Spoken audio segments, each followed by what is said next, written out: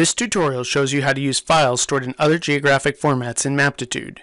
Maptitude supports numerous GIS and CAD formats including Esri shapefiles, ArcView project files and legend files, and Microsoft MapPoint files. To open a geographic file and see it in a new map window, click the File Open button. Choose the file type from this drop-down menu.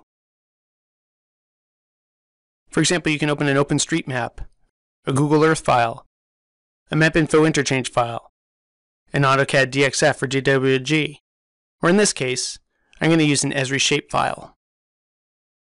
Choose the file to open, and use the Add to Map checkbox to choose whether to open the layer by itself or in a Maptitude map. I'm going to leave this box checked to open the shapefile as part of a map with other Maptitude country package layers, and click Open. Enter a name for the layer as it should appear in Maptitude. Also, you often will have the option to import the layer. If you want to convert the layer into a Maptitude format, check this checkbox. Otherwise, leave it unchecked to use the file in its native format. You also have the option with some files, such as shapefiles, of making them topological by checking this box when you import. Maptitude opens the layer and displays it in a map. Just like any other layer, you can add labels to it, change the style, add a theme, etc. For example, I will add a color theme of the primary use on this zoning map. Because I know that there are no overlapping areas in this layer, I will uncheck this box so that the theme will show as a solid color fill rather than a border color theme. Notice that now that I have added the theme, the zoning layer I added obscures some of the other map layers like the highways. When I zoom in, you can see this more clearly. So I'm going to rearrange the order of the layers by clicking the Layers button, highlighting the layers that I want to draw after the zoning layer that I imported,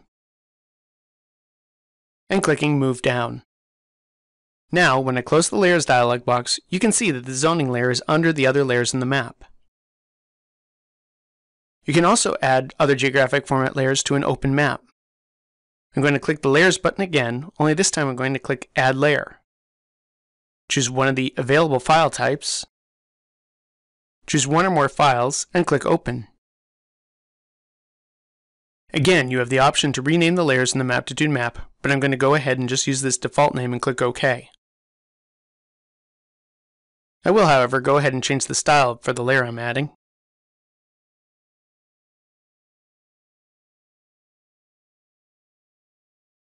And finally, click Close to see the map with the new layer I just added. There will be some slight variations in the dialog boxes and options depending upon the type of file you choose to open. For example, let me close this map, and this time I'm going to click Open, and choose to use a Google Earth KMZ format file. I'll choose Google Earth document as my file type, choose this file that I downloaded of traffic signals, and click Open. Maptitude cannot read Google Earth document files directly, so it will have to import the file into a Maptitude format, so you'll see that there is no import checkbox this time. I'll go ahead and click OK, and choose a folder into which to save the imported file. I'm going to go ahead and use the same folder where my KMZ file was located, so I can go ahead and click Select Folder. Maptitude imports the KMZ file and displays it in a new map. And that wraps up this tutorial on using other geographic file formats with Maptitude.